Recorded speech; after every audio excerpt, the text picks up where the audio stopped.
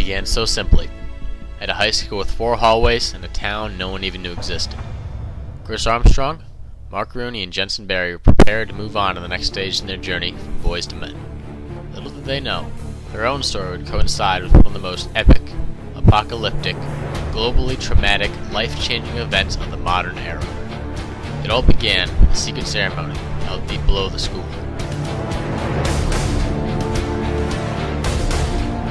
Dear Overlord, for your services to the town of Bolton and voluntary baldness in support of our graduating class, I hereby award you this key to the town menagerie. Thank you, Mayor.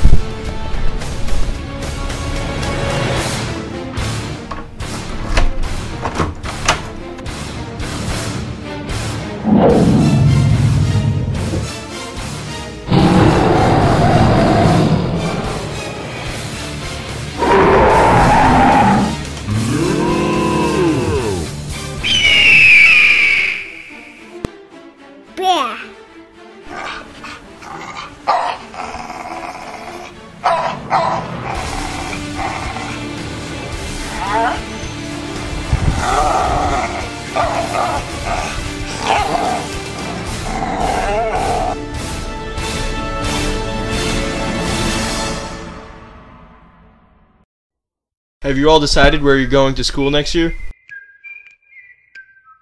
I was thinking about Eastern Connecticut State University, actually. The campus is incredible with all the renovations over the past few years.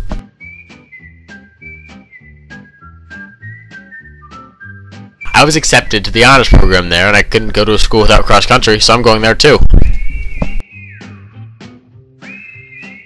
It is close enough to come home whenever we'd like, and inexpensive too. We'll be done after four years with almost no debt.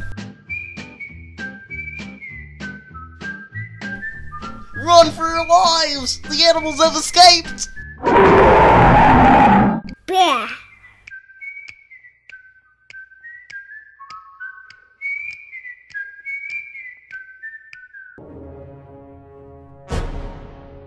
The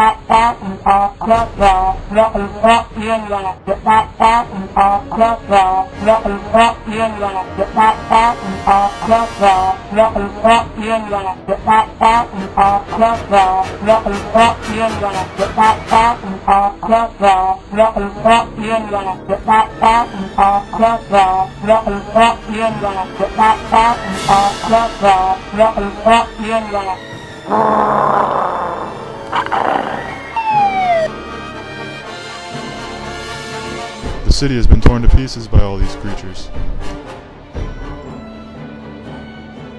And on top of that, the mayor's been kidnapped by animals.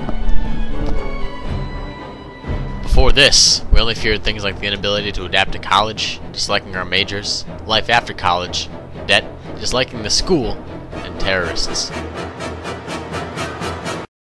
Giant bears and sharks are equally dangerous. Wait. Aren't all of the animals robotic? The last time this happened, the mayor placed them so that he could shut them down with his personal computer. And we're all computer science majors. We can use our skills to shut them down. Let's go!